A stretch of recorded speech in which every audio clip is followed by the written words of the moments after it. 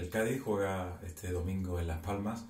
en un partido que debe servir para hacer bueno el punto que consiguió el pasado lunes contra el Zaragoza, en un partido donde se vio seguramente lo peor y lo mejor del equipo amarillo.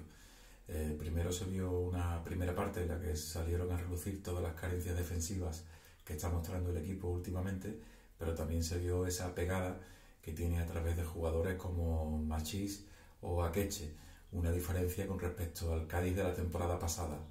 Eh, la parte negativa es que no se va a poder contar con Sergio Sánchez, pero en cualquier caso eh, sí se recupera Marcos Mauro y Garrido casi con toda seguridad también podrá ser incluso de la partida y jugará desde el inicio. Un rival, al igual que lo fue el Zaragoza, que está en una situación clasificatoria que está por debajo del nivel auténtico de su plantilla y que será otra prueba de toque para ver si este Cádiz definitivamente está capacitado para engancharse en los puestos altos de la clasificación.